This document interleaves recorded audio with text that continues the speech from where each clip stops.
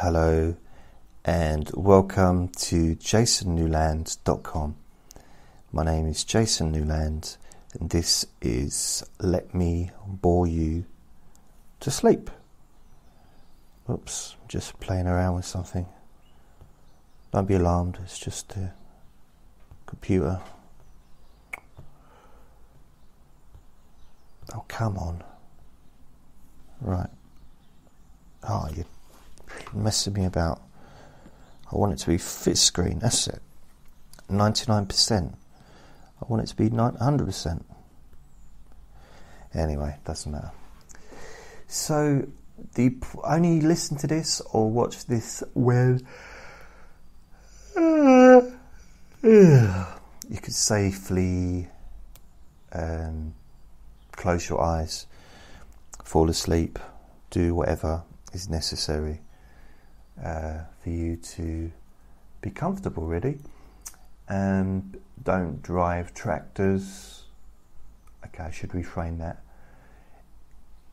If you're a farmer, I don't mean never, I just don't drive tractors during the recording, you know, when, when you're listening to it. Otherwise, you might end up ploughing your neighbour's field. And it's not a euphemism, I mean, literally, you could be ploughing their field and doing all that work for nothing. You know, if you fell asleep and you end up all of the neighbours waking up, so I can't believe the whole of the country has been ploughed. But who did it? And you'll be at home thinking, oh no, all that work I did. I'm not going to get paid. If only I'd listened to Jason and just kept my eyes open. No, I'm not saying list keep, just don't play it unless you can close your eyes. Uh, also, same goes if you're watching on YouTube. Please subscribe. Um, so this is, I think, I think, I think, I think.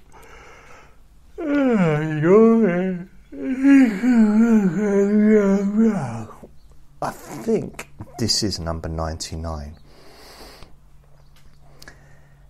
Which isn't bad, is it really? You think? I've probably been doing this for a year now.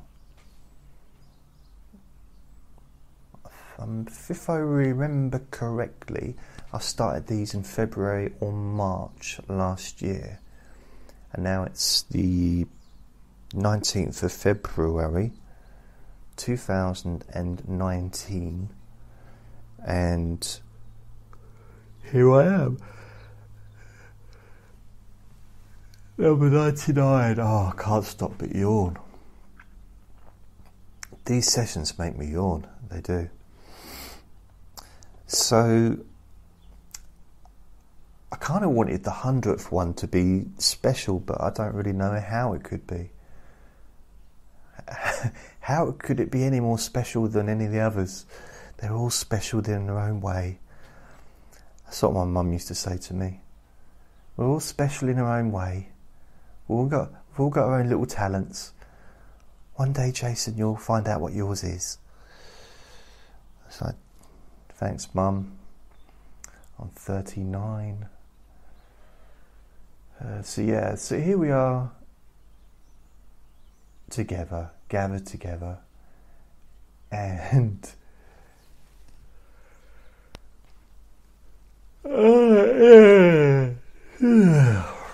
a minute I will stop yawning, I can just get on with it.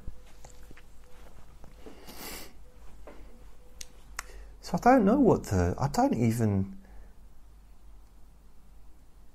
know how many of these I was going to do when I first did it.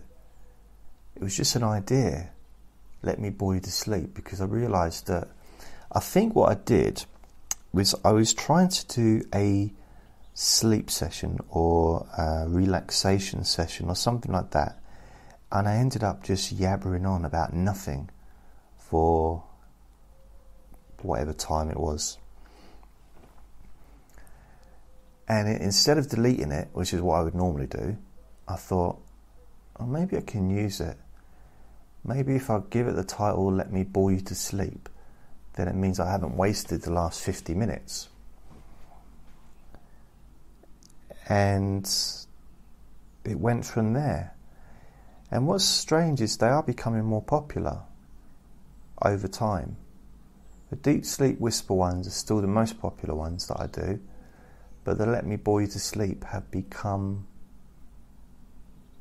more um, listened to, more downloaded uh, than they were, which I'm I'm pleased about. Obviously, not not wide awake about, but I'm pleased. So, therefore, I will continue. If if I was doing this and I got to 99 and I was still only had like five people listening, then I would have got I wouldn't be doing them. But uh, the viewership and audience has to grow. Otherwise, is there's no point. It has to. It can't sort of stay at the same. I mean, admittedly, I suppose if it stayed at the level it is now and it didn't grow or, or change, I'd have to continue because there's a lot of people that maybe are depending upon me producing new material. But it's nice to see growth. It's nice to see uh, progression. I think uh, to know that what I'm doing is useful and reaching a wider audience. So my request from you is to please share what I do on your Facebook page or your Instagram or wherever you socialize online. If you do like what I do, if you generally like what I do, please share my podcasts, MP3s, my website, or my YouTube channel, the videos. Please share it. Be my uh, promoter, or you know, if you do like what I do, because that would be good. I think that'd be really cool. Because I can't really afford to do adverts. I have done adverts in the past when I was. What year is it? Yeah, even going back to probably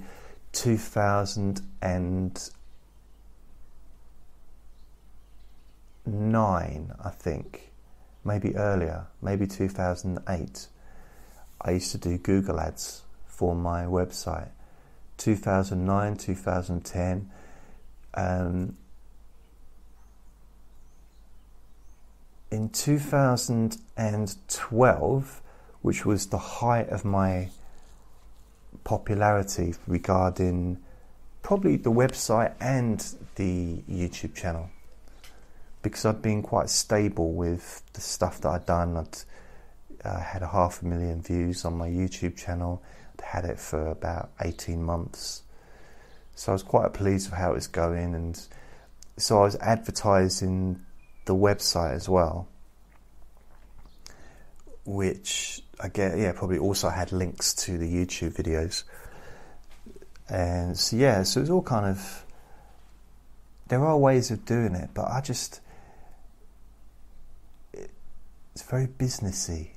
And I kind of like prefer someone just to take control of that side of things and just, you know, just get the audience Instead, I've just done it the really the hard way, a very long, 13 year way. And amongst those 13 years, I've continuously been deleting stuff, deleting channels, deleting, changing the website. I've changed it about 85 times in the last 13 years. So every time I change it, the links to the pages get deleted and they're no longer valid. So it's it's weird, really. So I got my little pad, a little electronic pad in front of me, which is a new thing that I've been doing. And it's not so much that I'm preparing what I'm going to say,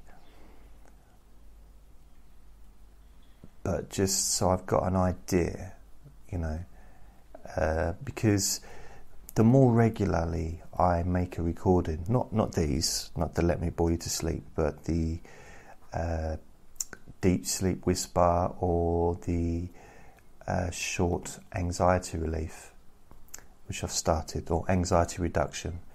So I did the fourth one today. I need to have a little bit more focus on what I'm doing. So I started to write down, you know, just literally before I start the session, write down roughly what I'm going to focus on and then sort of doodle a little bit while I'm talking, a little bit, just to sort of, okay, what can I say? Um, what did I say? Just so I can kind of keep track of it. And I thought I'd do that with this, but it's not working. This this doesn't. Uh, I suppose I could try, you know, but this is a very directionless recording. I think if I started trying to be uh, cohesive and structured with these recordings, I think they would die out. I don't think I could do it. I don't think um, if I knew what I was going to talk about before I started, that'd be probably difficult. I, mean, I don't have a script. I've never had a script, uh, but I'm trying to. I'm trying to get a little bit more organised in certain aspects of what I do. But with the with these ones, this is free form talking rubbish, kind of. Uh, although I can choose a subject and talk about it, so for example, I had someone on Facebook ask me to talk about because I put a, I put a post on Facebook saying, "What would you like me to talk about on my Let Me Bore You to Sleep recordings? Is there anything you'd like me to talk about?" So I had a couple of people. One person said, well, three people, but one said, "Can you talk about what you would do if you won the lottery?" No, not won the lottery. No, is it? If you were going to get a hundred thousand pound, yeah. Oh yeah, you get a hundred thousand pound, but you have to spend it in one week, and have nothing to show for it.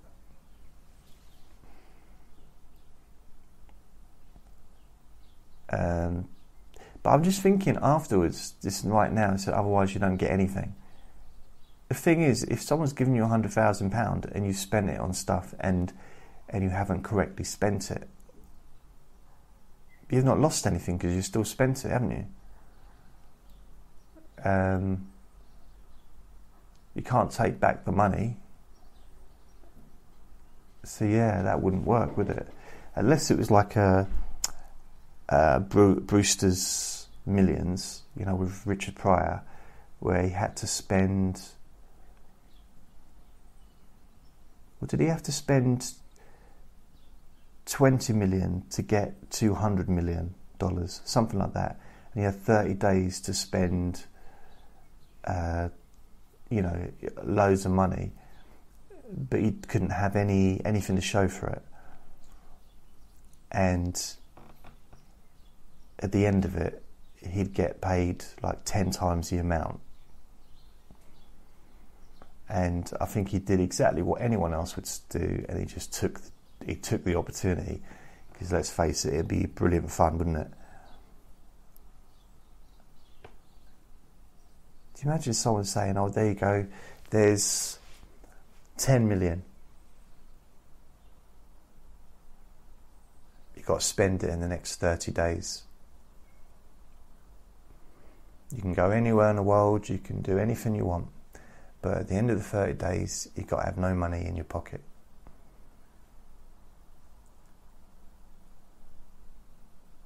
I'd, I'd take the I'd take the challenge. It'd be fun. I'm not sure if the uh, the day after it ends would be very much fun, but imagine saying, "Okay, well, I'll book a helicopter now." to take me to wherever you want to go. I think if you've got that kind of money and you've got 30 days to spend it, you might as well decide what you want to do and spend the rest of your life doing if you know what you want to do, and then use that money to meet the people that can help you. So if you want to work in Facebook, for example, and that's your dream to work in, in Silicon Valley in America, then you could use that money to woo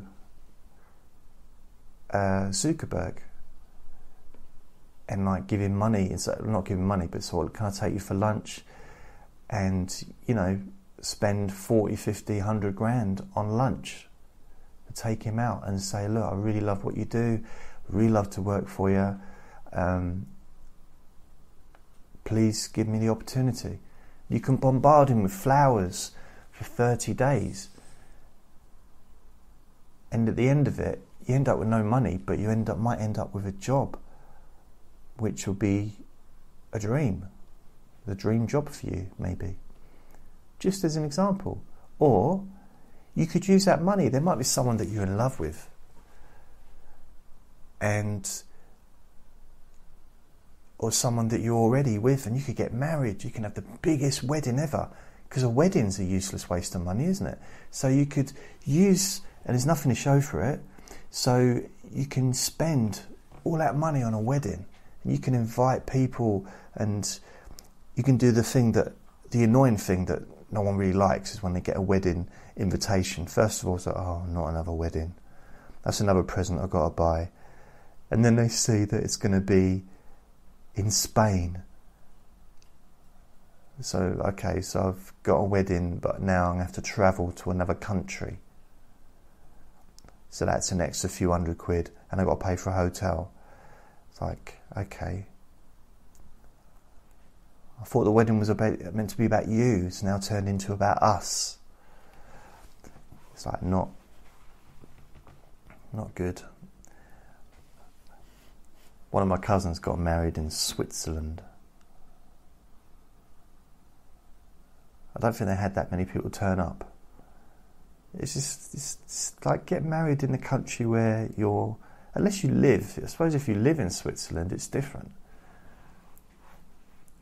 But if your family live in Japan, perhaps you don't get married in India you know, you may go to go to Japan and get married, just so that the people that you want to go and see you will, uh, can visit and travel. I love giving advice, wedding advice. That could be my job, like a wedding advisor. Get more balloons. That could be my advice. Don't do it.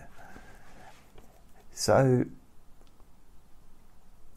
yeah, so you could waste your money by getting married. And then. So you can't buy a house. Can imagine that. So you spent and had the most extraordinary, extravagant wedding with lakes of chocolate and, uh, you know, if you've um, paid Ed Sheeran to come and play songs for you, or in fact, you might have just paid him just to stand there in his underpants and not play any music. Yeah, but you paid him so much that he's willing to do it, and you just you do all that, and you go on a lovely, beautiful holiday to the most amazing holiday destination for your honeymoon, uh, Bournemouth or you know Leeds or somewhere like that. And then you get back to your one bedroom flat, which before you had all this money was absolutely a wonderful place to live and you really enjoyed it. But now you've had all this luxury for 30 days and now you're back because you couldn't buy anything. You couldn't buy a new house, you couldn't buy a new home, you couldn't buy a new car because then you know because that, that you'd have something to show for the money. So you know you wasted it on a wedding.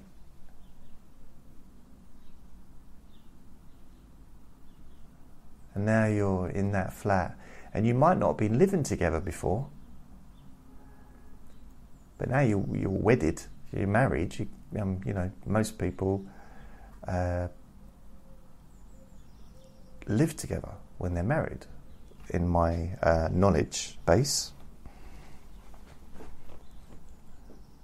unless someone sees himself as other than that, you know, they might. Uh, what's the right phrasing? Um, I forget it, but they might. Yeah, I think my ideal situation is what Woody Allen Woody Allen did. I should rephrase that quickly and tell you exactly what I mean. Um, so he married someone, and he lived across the park, like in New York. I don't know which park it is, but New York is a park. It might be called New York Park. But he lived uh, in a, an apartment across the park from his wife, who'd also lived in an apartment. And I'm making this little bit up here, but they could see each other, they could wave to each other. I don't know if that ever happened. And I thought that would be quite a good scenario, quite a nice scenario to not have to. Again, this this probably sounds bad, but not have to see see the same person every day. That's how maybe I could reword it to not have to. It would be nice to probably have a little break every now and then and then when you do see each other, it can be butterflies and the excitement like the first time you met all over again. it could be. It could be brilliant. I always wondered what to do with my counselling skills. But I reckon marriage advisor, that could be my next step. Because when I was a counsellor, because technically I am a counsellor, but I'm not. I'm qualified, but I don't do it anymore. I haven't done it for four years, so or however long. So I'm technically, um, I don't know, unemployed counsellor, or I don't know, however you want to think of it. And people used to ask me, "Do you specialise?" Like, what kind of counsellor? Do you mean what kind of counsellor? Counsellor. They don't realise that actually be and you know to train as a counsellor. That's you can counsel anybody. You know, I got a degree, three years full time, university. You got you can counsel anybody of any age. It's not really specialist. Um, but then, if you go and work in a hospice or you go and work with people of elderly age or work with young people, you can get extra training to, you know, if you're working with people with autism, special needs, people, you know, in a hospice environment. So you can get, or drug and alcohol dependency, you can get specialist training in that. Or if you work in that environment, that is something I guess you specialise in.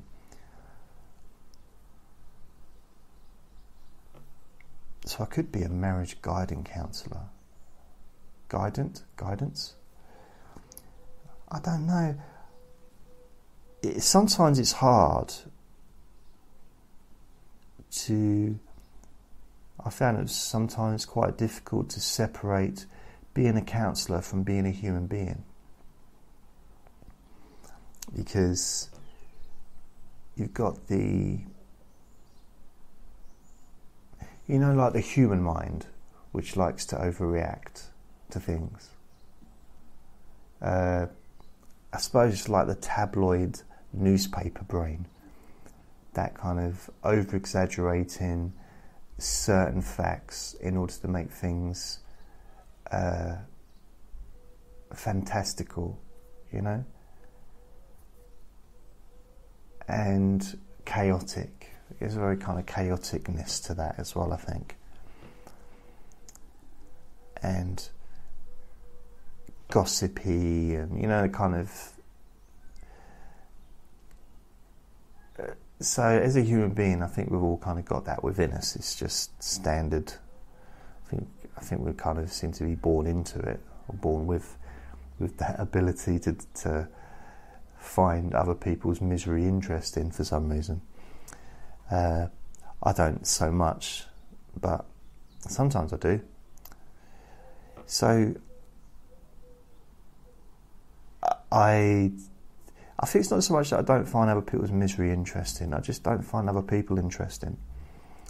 So that's that's probably my. Someone said to me the other day. They said, "Well, that, that's." Uh, so how can you devote your life and all your energy and time to helping people, yet not be interested in people, but not not particularly like people, not not be interested in them, or he, he said to me that's a contradiction. I said, yeah, but I, I can't, I can't help that. I can't help that I have uh, zero interest in other people, pretty much. I've got very, very, I've got a very huge lack of interest in humans. I'll be honest. It's I'm now at an age where I can be honest. It's always been the same my whole life. I've always. Oops, I just hit the microphone. Sorry. My whole life, I've always been the same since I was a kid.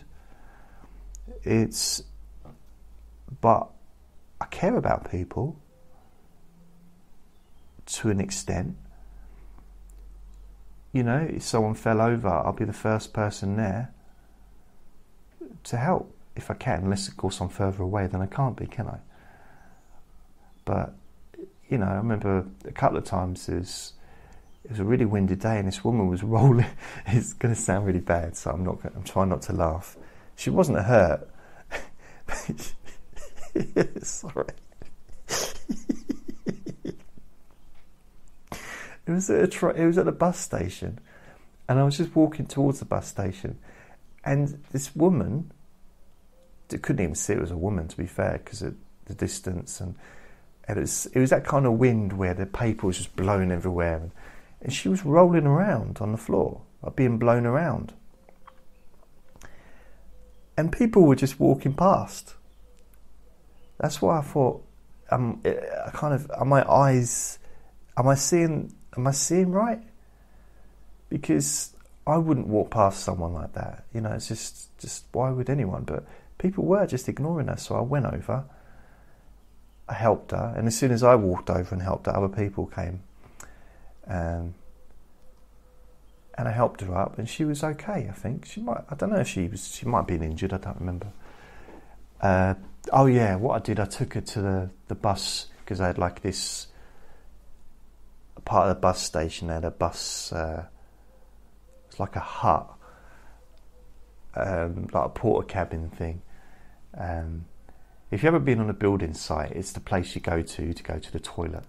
It's that kind of thing. But they they sat in there and helped customers with their bus inquiries and um, directions as well. I imagine probably. So yeah, I just took her over, and they I think they might have called an ambulance for her or something. But I just couldn't believe it. It was just funny to watch. I had no idea that a human being was connected to this at all until I got closer, because I, I would, it just looked like there was a. So if you're not in England, you won't probably understand, might not understand this, but Guy Fawkes. Um, a Guy Fawkes is a. It's kind of like a. I suppose the closest thing would be a a scarecrow kind of thing. You'd have a, it's like a human shaped make believe thing, but it's usually done with paper inside rather than straw. And you put it on top of a bonfire and you set it on, on light on November the 5th every year to celebrate a failed terrorist attack back in 1600s or whatever. Um, so it looked like that. It looked like someone had just uh, made somebody made of paper because of the way it was blown around, or the way she was blown around. It was because I was just walking normally, and I'm heavier now than I was then, but the wind didn't seem that strong. But maybe she was just. I don't know, maybe she had helium inside her. Maybe she, maybe she'd been sucking on some like a helium balloon and um, swallowed a helium balloon. So, it's what my description there was an example of me being compassionate. And I just realised that it hasn't come across as possibly as compassionate as I thought it was going to be. so I'll just hope that you're asleep by now so I can just move across from that. And so I've seen a few people fall over. I'm sure we all have over the years. And uh, there was this, it's outside the Tesco where I lived. I didn't live in Tesco, but it, Tesco's is a, it's a supermarket in England. There might be in other countries, I don't know. But there's, uh, they have little stores, like little versions of the superstore. So the big superstore, supermarkets massive. And then they've got the little ones, which are just uh, bigger than an average corner shop. Probably twice the size, perhaps, of an average corner shop. About the same size as an average small co op. Again, that might not mean anything to you if you don't know what a co op is. Um, I used to work in a co op back in April 1997. No, 1998. I worked there. It's quite weird because I remember the. I don't know if it's the person that gave me the job, but the area manager was called Mr. Cook. And he was this little man. And he might have been the same height as me or even taller. But you know, some people look little he just looked little. Again, he might have been taller than me or the same height, but he just, I don't know, something about him that just seemed short. Which was, it didn't matter, but he was um, not the most friendly person that I've ever met.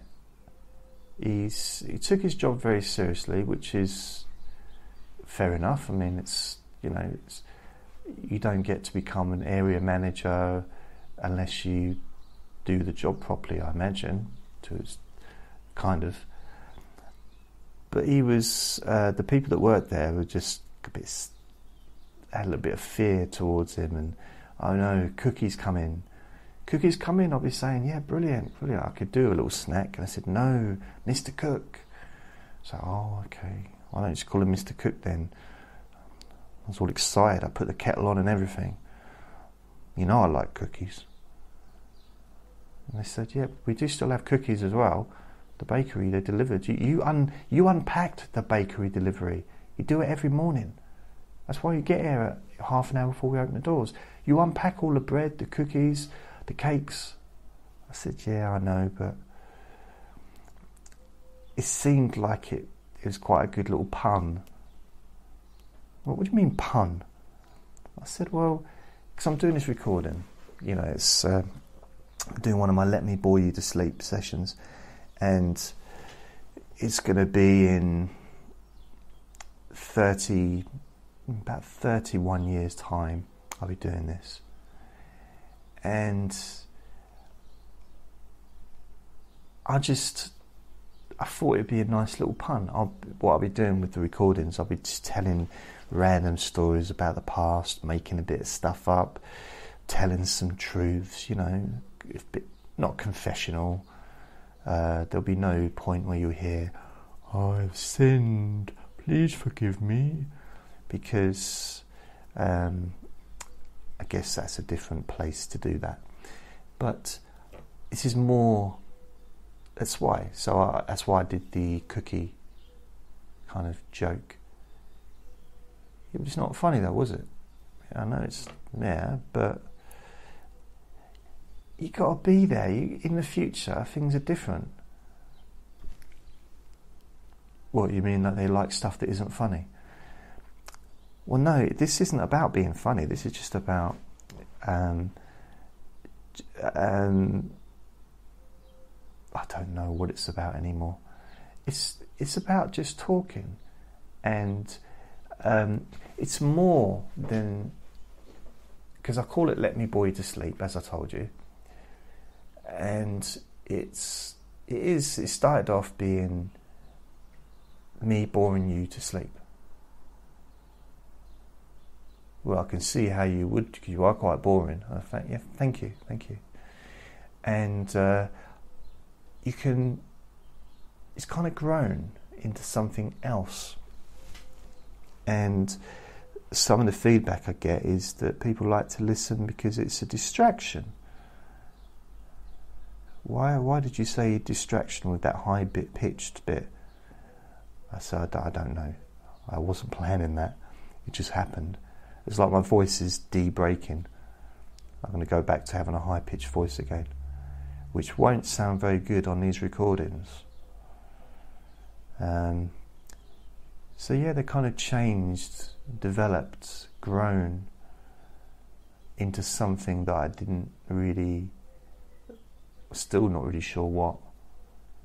There's more than just being bored by me to go to sleep.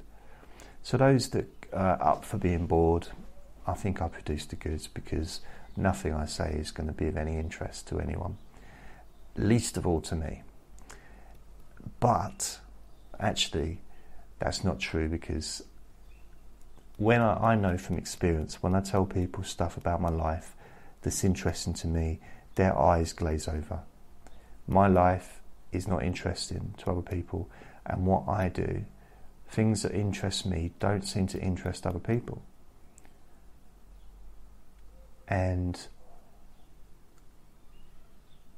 I realise it also it's also the thing if you mention hypnosis to people straight away, especially if they don't know you, straight away they're sometimes like in person I mean, sometimes a little bit on guard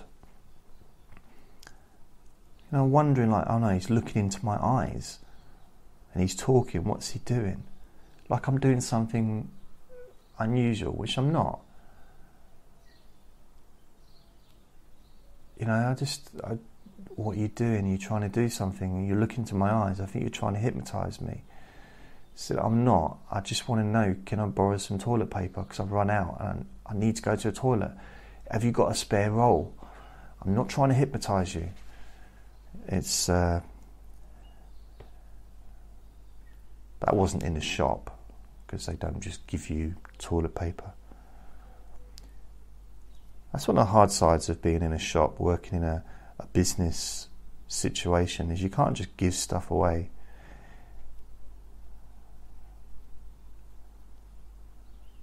I used to. I used to work in a pub, and I don't know if you can even imagine this. If you're if you're under the age of fifty or forty, this might be completely out of out of your uh, imagination, because when I was in a pub, when I first started in a pub, I had to add up everything I literally had to add up everything that I was that I was um, serving the customer and put it in as a full amount into the till. Because the other people were also using the same till and they couldn't wait around for it to be added all up. So I had to add it up in my head. So four cranberries, blah blah, 15 pints of lager, and I think it turned into a into some kind of a game for the people that visited, you know, the customers, because they knew that I kept getting it wrong. But they shot themselves in the foot though, because as humans sometimes do, they mess things up for themselves by being extra greedy. So I used to charge less than I should have done for, let's say, for a customer come in, they'd have five pints of lager.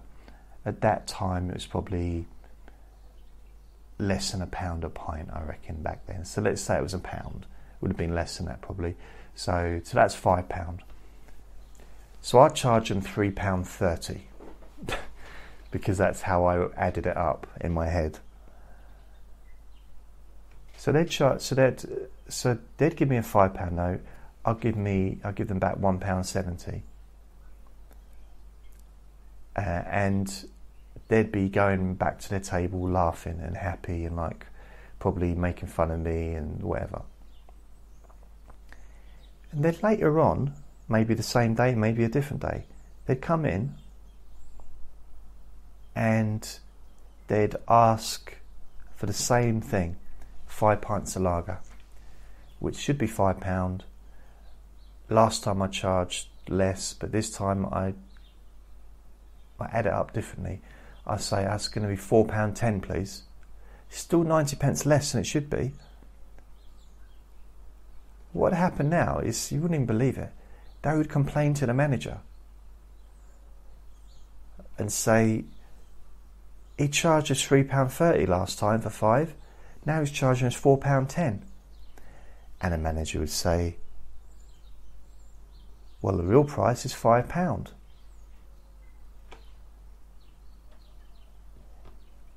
And the customer's argument meant nothing because basically I was in error and I was charging the wrong amount. So these customers, apart from getting me in trouble, well, I got myself in trouble, but um, they lost out because if they'd have kept quiet, they could have ended up having those, you know, really cheap drinks. But the greed, it was the greed in them. Very greedy. Mm. so I think it's part of it for me was the the having to add up stuff on the spot you know and I've had a few I've had a few um, jobs in bars over the years so it's not, you know, that was my first, and I absolutely didn't like it at all. And I didn't, I thought that it'd be social and I'd meet people and they'd like me, or maybe, maybe meet a girl and have, you know, but nothing like that happened. It was, I basically picked the worst bar, the worst pub in the town. It was a dive, absolute dive. All the rough, went in there. It was it wasn't a place.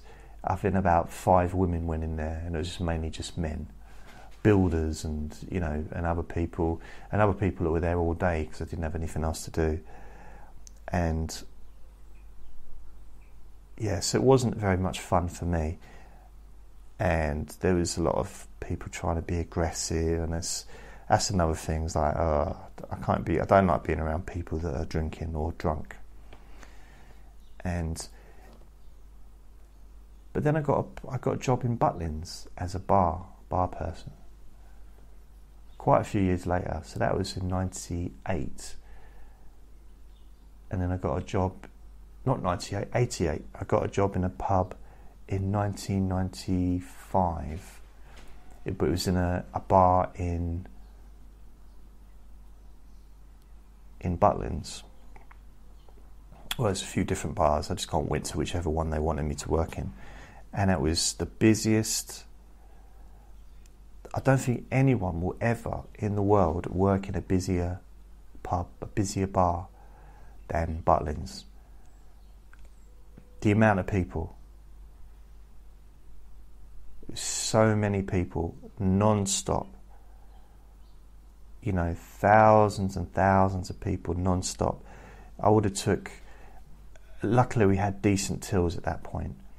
I was still making errors and stuff, but it was a case of uh, put in, you know, you had your till and you put in what you wanted for each, you know, for each person. So it's a lot easier. And I did all right. I was there for a while. Didn't enjoy it, but well, I enjoyed parts of it. But I'm better with things when they're just. I think it's something about serving people drinks uh, off the top shelf, you know, with the whole uh, the liquors, the the whiskers, not the whiskers, the, the whiskers, the liquors. I think the cats when I said liquors, uh, the you know like vodka, um, brandy, and all that stuff, and just. Just yeah, just like oh, just wine. Wine's another one. Can't you just have lager? Just have lager. In fact, have a bottle, a bottle of lager. That should all, all should be served in a pub or in a bar is just lager. Everyone will get served quicker. Or have the wine on a tap, the same as the lager is. None of this bottle opening, none of this stuff, just on a tap, in a glass, there you go, bye no queuing. That way, you haven't got people standing in the back waving a £10 note as if they want me to do a lap dance. Can't do I can't do a dance right now, mate. I'm busy. I'm working. Come and see me in 20 minutes when the show starts. So yeah, it's it's a that was an okay job. I got I did work in another bar in a club and I didn't officially work in the bar, but I used to help out when it was busy. And uh, so I would take drinks to people's tables. I'd also uh, I'd go to one part of the bar and say, if you want pints of lager, come and see me. And someone would come and say, well, I need some wine. I said, no, I'm just doing pints. Because it was easier to add up. It was easier to work it out and I was pouring the pints there, and that's all I was doing. And just get rid of people, get get them done and sorted. And not everybody liked my way of doing things, but I found it easier for me, and I was just helping out. So if you're the one helping out, then you kind of decide what you do, don't you? In a sense, it's like if you do voluntary work. If you go into a voluntary workplace and they start to tell you what to do, and start bossing you around and getting you to do horrible jobs. Like, no, I don't think you understand the concept of this voluntary work.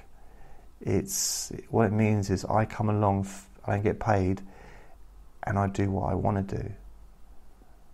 Yeah. Controversial. So I actually got a job in a bar. When I was at university, I lived across the road from a pub. I used to go in there, and when I say I live across the road, I mean literally uh, a 20 second walk from my house to where, where the pub was. And my landlord, he actually once got a taxi home from the pub. it's, it was like a legend legendary story. He was so drunk he had to get a taxi home and lived across the road. But I, um, I was at university and I didn't have a job at the time. I was just, you know, uh, I was in there talking, and the bar manager, or the owner actually of the place, said to me, "Do you do you want a job here?" I said, oh, "I don't know." He said, um, I think he said, Can you pour a pint? I said, Yeah, but isn't that your job? You know, I mean, what's the point of me paying you money if I've got to pour my own pints? And he said, No, no, no. No, don't be like that. And he said, uh, So he called me across, I went across the bar, um, not like Starsky and Hutch, we're going back but not. But you know, I went through the hatch, not the hutch, the hatch, and I did a poured a pint. I poured thousands of pints over the years, and you know I know how to. I know how to give good head. You know that's all I'm saying. It's uh, there's some special techniques you can have to do that, but I know how to pour a pint, and uh, he was impressed, and he said, "Well, you can start tomorrow." And this was on Saturday evening, I think, or Saturday afternoon. He said, You can come in for trial on Sunday if you want. Sunday, because that's the busiest time of the year, of the year, of the week for them, because they had, uh, used to cook meals, roast dinners and stuff. So it was very busy. And they had two bars within the pub. So it was the, the sa- saloon and the other part with the pool table and the younger, younger people. And so I, used, uh, you know, I said, cool. And Sunday came, and I looked at my clock, and what I did is I phoned in ill. I did. It was my first day. It was a trial. It wasn't even like a proper proper job yet, but it was a trial and my first shift, and I, I phoned in ill. So I can't. I'm too. No, I'm, I'm not. I'm unwell. Now you should have seen the look on their faces on the, the, the barman, you know, the, the landlord's face of the pub that evening when I walked in. Said, you know, so oh, can I have a pint, please? And they, him and my landlord, like the, of where I lived, they just were just in shock that I could be that brazen phone in ill, leave them short of staff on the busiest day of the week, and then walk in in the evening and order order a drink. And I said, "Oh, sorry about that." And I think we all they ordered a kebab. So yeah, that's the end of that story. It ended with a kebab. But what was I to do? it's you know that was the last. I just couldn't face it. I couldn't face it. I just couldn't. Yeah, didn't. I don't know. I think I'd have been all right because it's. I think because it's a small pub. Everyone in there generally seemed quite friendly and you know, it was, it was an okay place, and everyone knew my landlord and my landlady, so they they were kind of fairly friendly to me as well. Uh, so you know, it's I'd have been all right there, but I just I couldn't get out of bed, and he didn't offer me another shift either, so I never got a chance to show show off my uh, bar skills. Obviously, he didn't believe in second chances.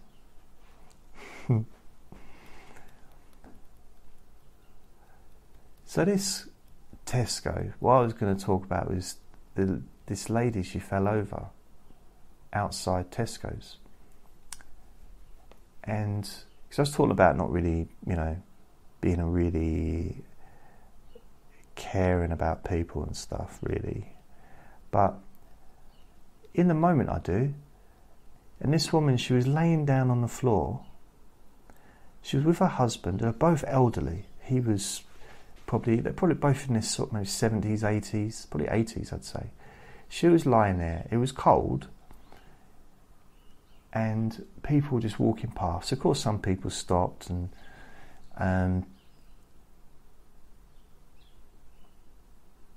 I was going to say her husband just spat at them, but he didn't. That's just made up. And but what I thought, it dawned on me that actually, for her, because she was embarrassed, she was cold. Uh, one of the shops had a blanket and they put it over her and put a pillow under her head. But what she didn't have, the one thing she no one could offer her, was her perspective she was lying on a cold pavement and everyone else was standing up. So what I did is I lied down next to her.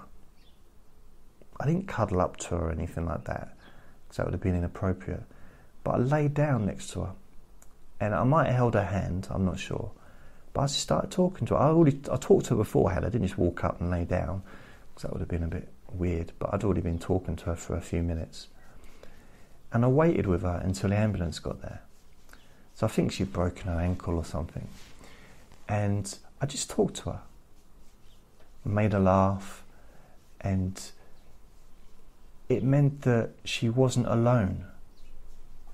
I know to a degree she had a husband there, so she probably didn't feel alone, but she didn't feel alone as in she wasn't the only person laying down on the pavement. People were no longer just looking at her. Especially as I had no trousers on. No, I did have trousers on, I made that up. So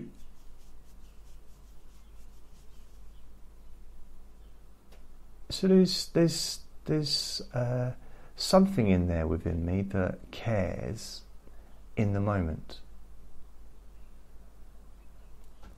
But do I care what she's doing now? No, I don't.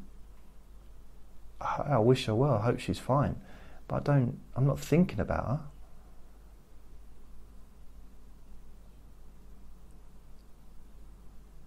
So I suppose I'm kind of maybe I'm just the same as everybody else. Everyone thinks that way, but it's just. I think it's nice to be there when people need it, like proper need it, not just. I think if you're there all the time, people need it all the time. Well, actually, I don't think any of us need anything all the time. We're so much stronger than we realize so much more able to deal with stuff than perhaps we give ourselves credit for. I mean, you're amazing people. You really are. I don't have to be in your life to know that. This whole world is full of amazing people and a few knobheads. Let's be honest, there are a few out there that are just complete knobs, but they're not the majority. The majority of people have got great qualities and they're doing the best that they can.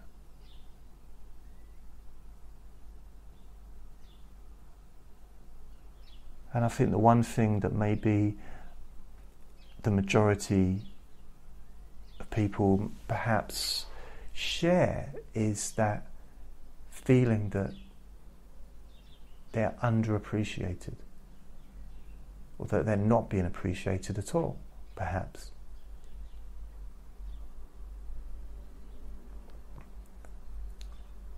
So, how can we change that?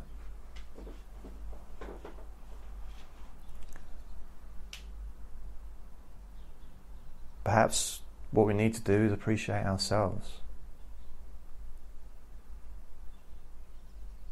Because let's face it, if you're let's say you're an ambulance driver, a paramedic, you save someone's life, you move on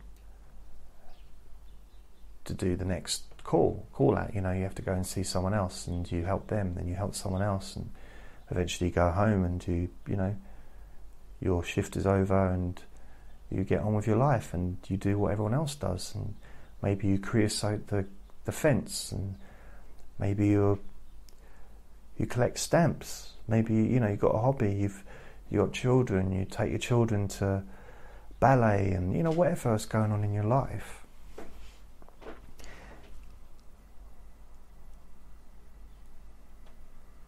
It's up to you to realize that you're appreciated and to realize that because you may not hear it enough and maybe you hear it so much that you don't notice it anymore. Maybe you hear people say thank you so much that you don't hear it. Perhaps you could start hearing it again, realizing that it isn't the same as a customer buying something from a shop. You know, if you buy something from a shop, say some underwear, or some tampons or whatever you buy. And you go to the shop counter, you pay for it, and they say thank you. You know, thank you is meaningless. It doesn't mean anything. They're not. It, doesn't. It's not their money. So you're not giving them any money. They're just working there. But it's just common courtesy. It's decency, and it's a social thing that we do, and it's what the their employee would want them to do as well, or employer rather. But when someone says thank you for saving my child's life, or thank you for saving my life, thank you for resuscitating me, or my friend, or my wife, or it's not the same thing, it's just a standard social thank you. It's important and it's meaningful. And just because you may hear it lots of times doesn't diminish the energy and the importance of that thank you so that you can appreciate yourself more. I'm going to go. So, thank you for listening. Hopefully, you fell asleep through boredom. If you didn't, then, yeah, oh well. I'll speak to you later. Bye.